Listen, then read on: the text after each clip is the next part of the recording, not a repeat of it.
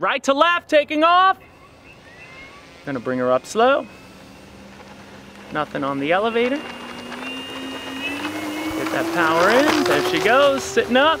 And beautiful.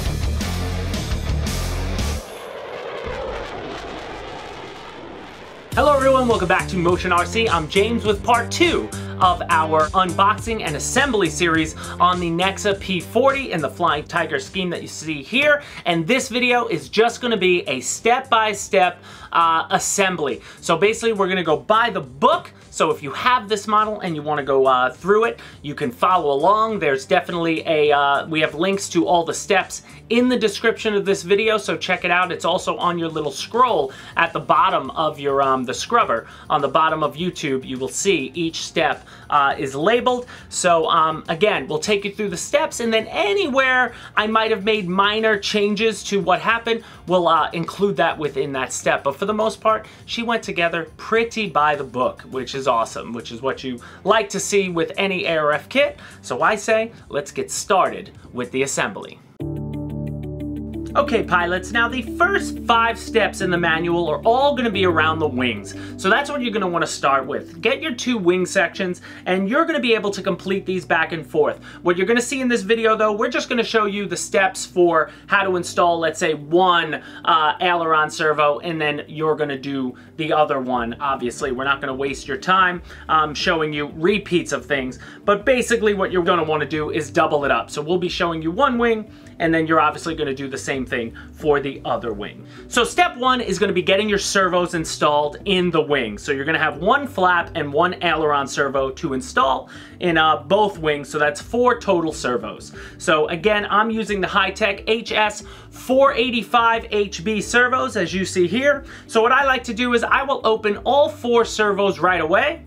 I'll install the rubber grommets and everything that comes with the servo, get it ready, and then I'm also going to use a servo tester. That's another big thing you should have when you're building an ARF kit. I have this one from GT Power, which we sell on motionrc.com and uh, you want to be able to center your servos now. This is the best time to do it, so you have to do less work later. You're probably going to have to add sub-trim into your transmitter once you do get it all installed, but at least having your servos centered now, before you install them, uh, makes it easier because you don't want to have to take them out uh, just to do that once you get them installed. So get them centered as you see here, and then I use the, uh, the one-sided arm for both, now once you get the arm centered on the servo, then you're going to want to go into the baggie from your kit that's going to have your link stops or your connectors because these are going to connect to your servo and that's what's going to hold your control rod in place. So they come with a washer, they come with a little hand tight nut that I used a wrench to put through.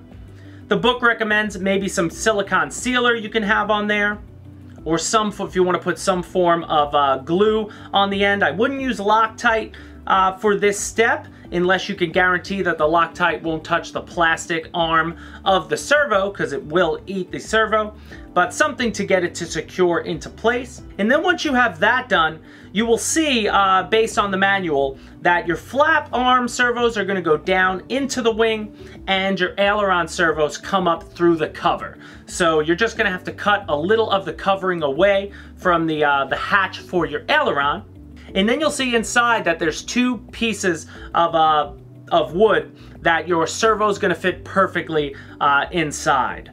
So what I did is just line it up and that's where I used my hand drill and I pre-drilled the, uh, four, the four holes, two on each side, to mount your servo. So you're gonna do this four times for both wings, two aileron servos and two flap servos. And in the book, again, they do have some degree of measurement, like your flap servo could be at 40 degrees. That stuff I will manually change later once I get it all connected up. I just want to make sure my servos are centered and they're installed correctly at this stage. And here as well, you can also add your servo extensions on the ailerons and the flaps. And you can snake those wires through and have them come out the side of the wing. So moving on to step two, here's where we're gonna do our linkages. So this is where you're gonna have to um, do a little bit of cutting with an X-Acto knife. You're definitely gonna wanna use your hand drill because you're gonna have to make holes for the screws because some of these control horns are gonna be screwed in and some of them get snapped in, but I also glued them in. So you can see here, you're gonna need two different types of control horns and they all come in the one bag with all the control horns, which is nice. So you'll see these ones, they don't have a bottom side. Uh, they will slot in there for your flaps. And then you have these types, which are a little larger and they have a back part. They're gonna get screwed through the aileron itself and uh, they get secured on the back side. So what I ended up doing with the flap one is I there is a pre-cut at the factory. You will see you've got to feel through the covering. There's a pre-cut notch uh, on, on the flap that you're going to want to find. You're going to take an X-Acto blade, cut that away. And now they do give you another side to this that you could put through and I definitely use that, but I also add some epoxy here, or you can use some CA. I don't want this to ever move. I don't want to just rely on the plastic um, to stay secure. And then for the aileron side, again, you want to just find out, you could see now that your servo's mounted, um, you could just want to mount your aileron servo straight and neutral to where the servo arm for the aileron is coming out. So just make a line um, going down towards the aileron, and I just put it on the medius portion of the aileron there. And then once I lined it up, I use the hand drill to just pre, uh, pre-drill completely through the aileron. So you're gonna pop out the bottom side of it, or the top side if you will, because we're working on the bottom side of the wing to screw these in. Now within that bag of screws, you will notice that they are all 20 millimeters except for two of them. Two of them are longer and they're 30 millimeters. Do not use the longest ones. You're gonna need those for your rudder later. So you wanna use two of the majority of the screws that you have in this bag and they are going to be 20 millimeters. So you're going to use four total, two for each uh, control horn on each aileron. And again, you could always add a little more uh, glue if you want, just to make that uh, nice and strong. I'll drip a little thin CA on the backside of the screws, and then also you might want to use some sort of wire cutters or pliers to uh, cut the tops because the screws are really long as they come out the back. So if you want it to be nice and flush, you could always cut the edges of the screws off on the other side of the wing. Now since you already centered your servos, at this point you can attach your control rods, so you would just need four of them. And again, you're gonna have to do some cutting. The rods are very long. Uh, they give you plenty of space uh, to make mistakes, if you will, so you could cut them and keep cutting them down if you want. But uh, you could at least, since your aileron servos are centered, you can get the control rods installed and this is where I installed the flap hinges as well because I'll sub trim out my flaps uh, in my transmitter. So I installed both of them and I use the middle hole on all the hinges as they show in the book. But that's something we'll get to when we talk about rates in the third video. So now step three as far as the wings go is going to be all the plastic bits around the landing gear. Again, your landing gear is already pre-installed, but if you notice that the wheel well itself is not uh, glued down, so you're going to have to do that yourself, and then you're going to have to install these two shields, two pieces on each wing. Uh, that you see here. So the first things first, what I wanted to do was glue in the wheel well. So I put a servo tester, I brought the gear up, and it's a good place to check if you have any issues with your landing gear. It's best to find it here. But the gear, when the gear was up, you see the wheel well, uh, this piece, you're just gonna have to clip off with a scissor, uh, two pieces. That's so you, again, your um, landing gear, your strut can go down into, uh, into the well once it's finished. And then what I did, uh, take a hobby knife or an X-Acto knife and just make a little line um, and take off some of the covering around the wheel well. So you can put the wheel well on, dry fit it, maybe use a pencil and outline it, and then just cut within, because I like gluing, uh, when I use CA or epoxy, I want it to be uh, plastic to wood. I never want to glue to the covering. That's just me, but uh, I think it helps. So once you peel that all away, I added some medium CA around the plastic and then I just press it on there and CA dries pretty quickly. Then once that was done, then you're gonna do the two bits for your landing gear to cover your gear, these two shields. And then for the first one, that covers the, the, the retract, you're gonna need six of these 10 millimeter screws. And there's really only one place to line these up, but what I like to do is use the hand drill again, pre-drill, pre-drill, pre-drill. It is sheeted underneath, so um, you definitely don't want to just drive a screw through. You might end up cracking some of the wood or ruining it, so you definitely want to pre-drill it. add in the six screws there, and then the last little shield that goes around the wing is gonna fit on. And I use two, even though the book says four screws, I ended up just using two, and I find that it's pretty secure on there. All right, now step four in the manual is gonna be joining the wing. At this point, you should have two equally finished wing halves, and now we've got to join them together. So the first things first, you wanna take this spar that you have here, and you wanna make sure you find the dead center. If you notice, if you press this spar and dry fit it into a wing, it will go past the center into one side. So that's something you really don't want to happen because also this spar has the dihedral inside, which is gonna is what you're gonna want in your wing anyway once it becomes a one-piece wing. So the first thing I did was just measure the spar. As you can see here, I made a pencil mark across the middle and I found the exact middle of this spar. And then I dry fit it again and just give myself an idea of how it's gonna go. But now once that's done, now we can get to using our epoxy. So I like to use 30 minute epoxy whenever I'm doing something like this. Uh, it gives me more time to work. It gives better adhesion uh, versus a five minute epoxy. So 30 minute epoxy is where you're gonna wanna be and I'm using this Benchcraft epoxy we have. Once you get that all mixed up, all I was doing at this point is enough to get half of this spar into just one wing. I want to wait for that to then dry before I try to join them together because again if you try to press the wings together and the epoxy is not dry then your spar could move within uh, the wings and that's something you don't want to happen. So I put the epoxy all on the inside of the uh, hole where your spar is going to go within the wing. I put some on the spar itself and then here's where also, guys, if you've never done ARFs or work with epoxy, you want to try to have some isopropyl alcohol and like a towel next to you. In case any of the epoxy gets somewhere you don't want it to go, if you get at it very quickly with some isopropyl alcohol, then you're not going to have any problems. So you want to watch out for dripping, things like that. Maybe put a towel down underneath when you do this. You're going to have to find a way that works for you. But once I pressed it in, I made sure that just my pencil mark was showing out the side and then I'm gonna put this to the side and wait uh, 30, 45, 45 minutes. I just wanna make sure it's nice and secure before I eventually join the other wing half to it.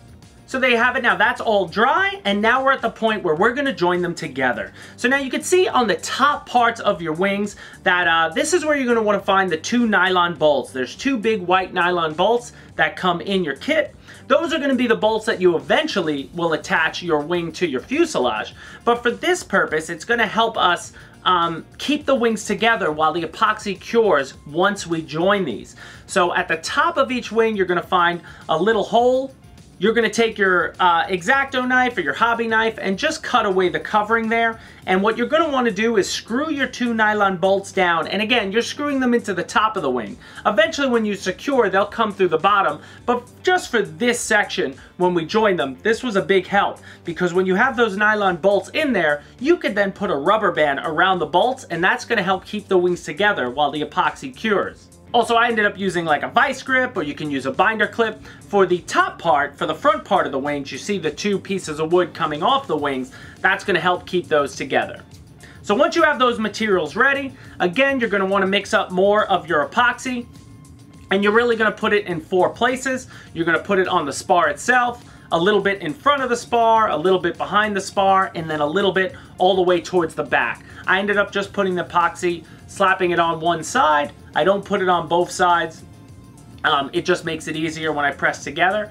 And again, once you line them up and you press them together, put on your rubber band around the nylon bolts, put on your clip, but then watch it a little bit and have your isopropyl alcohol and towel ready. In case any resin or epoxy starts coming through the seams, you want to be able to wipe away that now especially if it's coming out the bottom. If it's on top, again, that part's gonna be hidden in the fuselage, so if you make a mistake there, it's not the end of the world.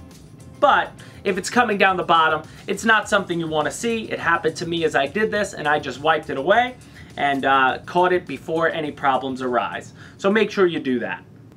Right, so step six in this build is gonna be installing your horizontal stabilizer. So at this point, again, your stabilizer came out of the box and it had its control surfaces, the elevators attached to it. But again, remember, they're not glued down yet. They're glued to one side, but not to the full, to the full section. So you wanna take off your elevators And now here's where you're gonna need your X-Acto knife or your hobby knife. You wanna cut away the covering on the back of the fuselage. You can feel it with your fingers, you can see where it's gonna go. Make sure you cut away the film uh, completely because your horizontal stabilizer is going to need to slide through this hole and be dead even. So now, once you cut away the film, what I like to do is measure the horizontal stabilizer. Find the center point and mark it with a pencil.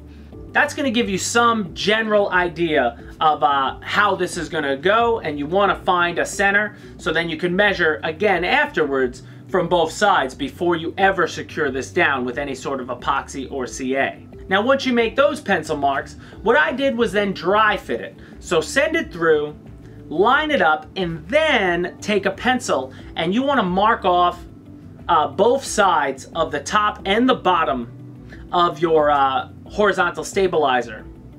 Because then when you pull, pull out the horizontal stabilizer, you're going to want to cut away the covering on both sides. Again, when you're using epoxy or CA, it's much better to have a wood-to-wood -wood adhesion.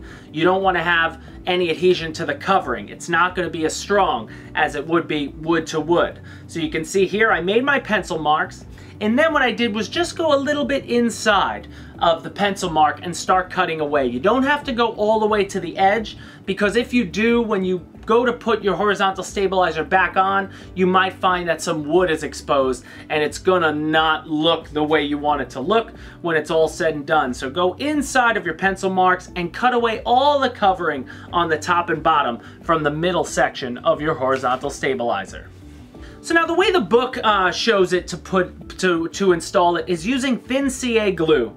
Um, I'm not a big fan of CA glue anywhere near my coverings, especially on the top. It tends to dry white. If you make a mistake here, um, it could go poorly. I went with 30 minute epoxy, so it's up to you. I decided to take the 30 minute epoxy. Again, it gives me time to make sure my horizontal stabilizer is nice and level. I have alcohol that I can wipe away, which won't do any damage to, um, to the covering on top.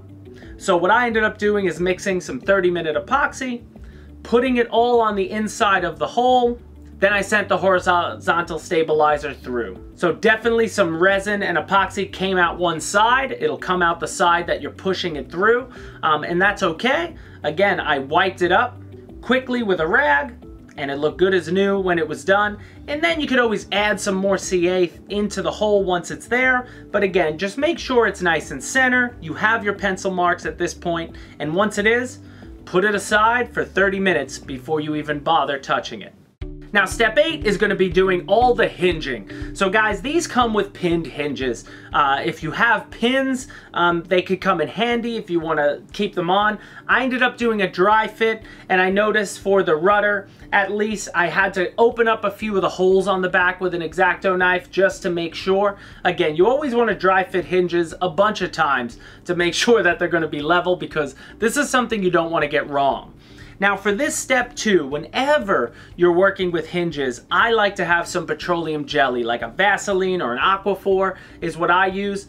And because I'm eventually going to epoxy these hinges in and I don't want to get any epoxy within the hinge because if you do then it's you're going to basically ruin the hinge and it's not going to move back and forth.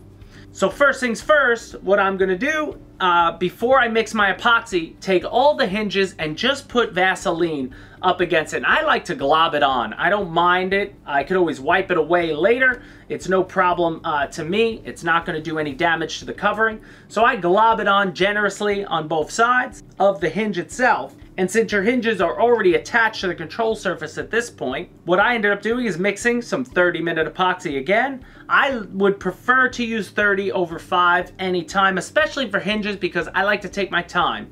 Again, a 30 minute epoxy is going to cure in about 30 minutes, so you get about 15 good minutes to work with it before it starts to harden up and gets hard to work with. If you use a 5 minute epoxy, then you end up rushing, and when we rush, we make, us make mistakes. So again, 30 minute epoxy. I dab some on each side of the hinge, and then I just fit it in. So you're going to do this for both elevators and your rudder. Overall, it'll be nine hinges that are going in to these sections. So now once you're done with that, you're gonna go back to your control horns. And again, it's gonna be the same control horns that you used for the aileron. You should have three more left. There'll be two for your elevators, one on each side, and one for your rudder. And then remember when you're doing this, uh, the same rules apply. You wanna use your hand drill and pre-drill once you once you measure them up to where you wanna go. And remember that you should have two 30 millimeter screws and four 20 millimeter screws. So use the 20 millimeters for your elevators and the 30 millimeter screws you're gonna want for your rudder. The rudder is thicker, so it's gonna need the longer screws to attach that control horn. So now moving on to step nine, we're gonna do the tail gear. Again, it is a fixed landing gear. It's not retractable or anything, but you will see this is not something you had to do anything to the rudder before you installed the rudder. The first thing I did was attach the wheel to the axle and they have two grub screws there to make sure that you have enough space to give it roll and to secure it. So I secured that first. Then here you're going to need a little CA. You will find underneath the rudder that there's a pre-cut section where you're going to put this little piece. Uh, you can see this little circle piece. That's how you're going to basically connect your tail wheel to the rudder itself and give it the ability to turn, obviously, which is what you want with the rudder. So once you CA that in, I use a little medium CA, got it in there, nice. And then you wanna slide your tail wheel through, and then you're gonna use two of these 12 millimeter screws. They all, again, come in the same bag. Put them on the back part, on the bottom part of the fuselage, and again, you're gonna wanna pre-drill your holes before you drive the screws in. But once you do, then your tail gear is done, and you are done with the tail section of this P40. So now as far as the book goes, guys, here's where you get to your motor sections and installing motors. I wasn't ready to do that yet, so this is where I make changes. I still want to get my servos installed for the rudder and the elevator. I figured I just did the tail, so let's finish that off. So again, you should have two more servos left of the uh, Hitecs if you're using our setup. But get them all set up, so get your grommets in, center your servos as you did before, and then you just want to make sure your servo arms, they're going to both be facing inward inside the fuselage, and make sure you also want your wiring to head towards the canopy. It'll make it easier to plug into the uh, into the receiver later. But you can see on the bottom of the fuselage, very easy access in here. These servos, again, were made for this plane, it seems like. They fit in there perfectly snug. Then once you do that, you will notice the rudder is just going to use one control rod. So you can go to the back of the plane, send the rudder control rod through, and again, these are super long, so you're going to need some sort of uh, wire cutters or steel covers like pliers to get them, to cut them off and away. But now with the elevator servo, remember one servo is going to be driving two control rods. So they give you this little tri-connector and a small little piece of metal. So you're going to basically put the metal through the center of this connector, then attach the grub screw to make sure that's taut, and then when you send the two long elevator control rods through their respective tubes on the back of the fuselage and towards the servo, they're going to go into each side of this connector. That's uh, sort of the way it works here. So you can see it here and again, you're going to have to cut away any excess. Don't cut away too much. You could always cut more. Don't cut away too much at the start. I'll, I'll leave it long until I make sure that it's uh, where I want it. Now the beauty of this section too is, since you've already centered your servos, your fuselage is open, you can basically finish off your rudder and your elevators here. So what I did was just level out the elevator and the rudder, and then send in the grub screws. And since your servos again are centered, by the time you put up, put uh, install your receiver, uh, you're going to do minimal sub trim at this point. So you can finish that part off now. Okay guys, now step 11 in this assembly is going to be your motor. Again, we're going with an electric motor setup, so gas guys, I can't help you in this stage in this video. Uh, when I eventually do a gas uh, Nexa model, um, hopefully that'll help you guys out there. But for you guys running the electric setups, uh, I'm using the Admiral GP10. Now this step could take a long time. This video is going to make it seem like it's a very easy task. It's it's not hard, but it's tedious because you're doing a lot of measuring. You're going to be putting the cowl on and getting this secured uh, the way you want it to make sure that it has the angle is just a labor of love, if you will, going back and forth. But I'll try to take you through uh, just the steps of how I did it. But again, this is going to be you working on your ARF and manipulating uh, yourself to make sure it works. But first things first, if you're going with the electric setup, you do get this wooden motor mount. So that's sort of your plate um, that you're gonna attach your motor to. So first things first, I held that up to the firewall of the fuselage and I wanted to level uh, line it up because you're gonna have to pre-drill through the firewall because uh, obviously this is where it's going to attach. And you do get a bag that has the four big bolts and all the nuts and washers you're going to need to secure this. In essence, each bolt is going to get four nuts, one on the front and back of the firewall and one on the front and back of the uh, motor mount itself. So after pre-drilling the firewall, now we want to pre-drill the motor mount, that wooden piece that comes with the kit. So I used the metal motor mount that comes with the Admiral GP10 motor, held that up to the plate. And now what I will say, for this Admiral GP10, I ended up having to re-drill this a second time. I had to raise it up. Don't go by the hole in the center of this wooden plate. You're gonna need it higher based on the P40 cowl. So the top of my motor mount is almost at the top of this wooden plate. It's hard to give you an exact measurement it's just something you're gonna have to trust me on as, as we went through. But uh, get that pre-drilled. And then you can attach the metal mount that comes with the GP10 to the back of the, the motor. Obviously the motor comes with the, uh, the prop shaft and everything. You can fix that on yourself. And now at this point, this is where you're gonna be doing a lot of work. So it's tough to show, um, it's tough for our cameraman to film the entirety of, uh, of this process as we're going back and forth. But obviously you're doing a lot of loosening and tightening of your bolts, putting your cowl back on and just trying to find the exact measurement uh, you're gonna need. The one thing I like about this cowl, it basically fits on snug like a glove. Um, every time you go to put it on, um, it only goes so far back, so I just made a little pencil mark um, so that every time I would put it on to measure to make sure I had enough distance uh, for my prop to turn, if you will, to get that back plate on the motor out past the, the cowl, um, it took a little bit. And I will tell you, I ended up having to take my motor mount with the uh, metal mount off the wood and I added two nuts and a washer and two washers between the wood and the metal motor mount and that gave me just enough space. I believe it was five and a half inches is what you need from the firewall all the way out to the hole of the cowl.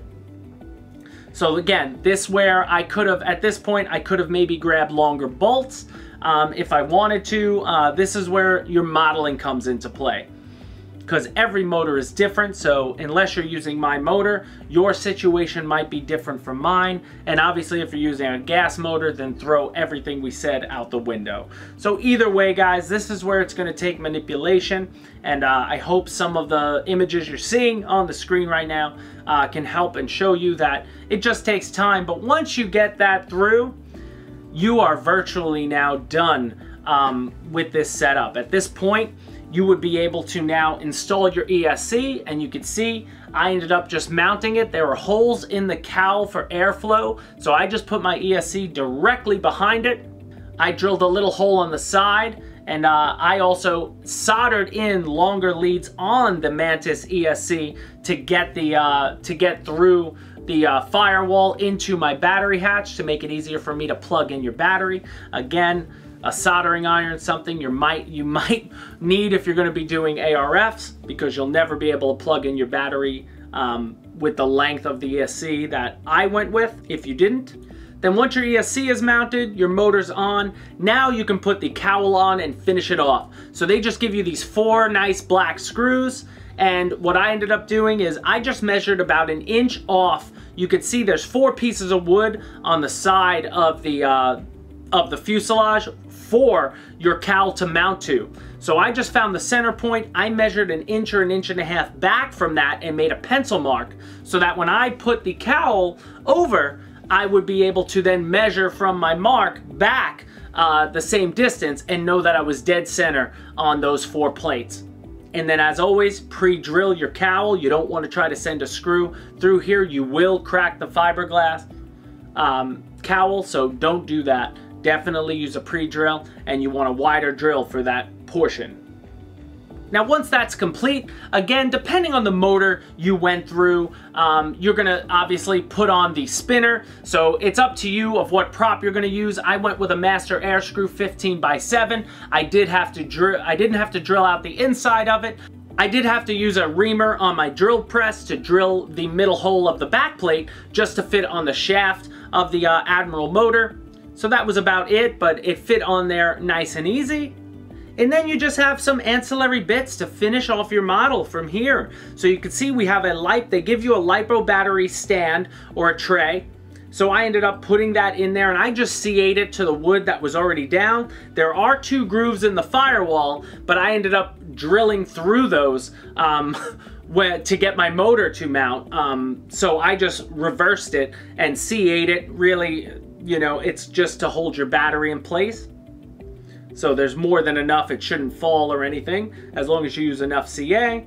Then turning the aircraft over, you have these bottom shields that go over uh, the the, the wing section. So at this point, you can now install your wing, and your wing is just those two nylon bolts that you originally uh, used to help uh, glue the wings together. So you can see that there are holes there, and these plastic pieces line up perfectly.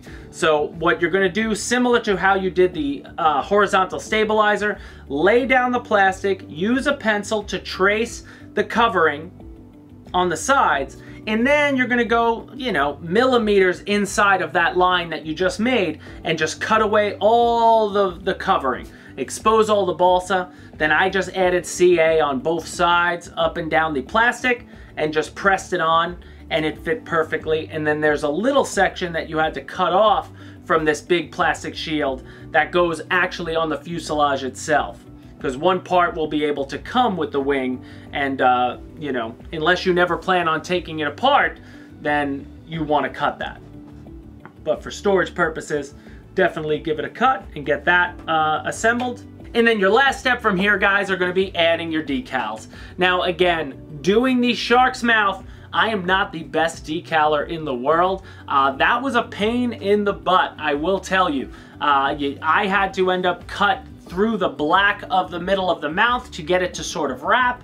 Maybe you guys are better than I am. I did my very best. It looks good from far, but it might be far from good. But all the other decals are there and they give you a little sheet on the back. There's nothing you're really gonna need to put on the wings. There's a couple no steps that I didn't add, but your big 88, your tail decals, the Flying Tiger, and the, the, uh, the Chinese lettering that goes above the exhaust with the eye and the mouth, they're all there and she looks great um, when she's done, when she's all done up. So, uh, Overall, guys, I hope you enjoyed that assembly. Now let's go back to the table and wrap up this video.